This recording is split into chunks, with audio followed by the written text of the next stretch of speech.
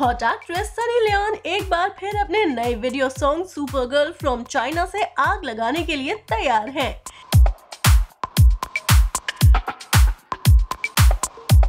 इस गाने को गाया है कनिका कपूर और मिका सिंह ने गाने में शॉर्ट क्रॉप टॉप और टाइट स्कर्ट में सनी लियोन सुपर हॉट लग रही हैं। गाने की वीडियो की शुरुआत में लड़के सुपर गर्ल की बात करते हैं, जो चाइना से होती है। ऐसे में सनी लियोन के बारे में बताते हुए एक लड़का कहता है, उसके पास सब कुछ बड़ा बड़ा है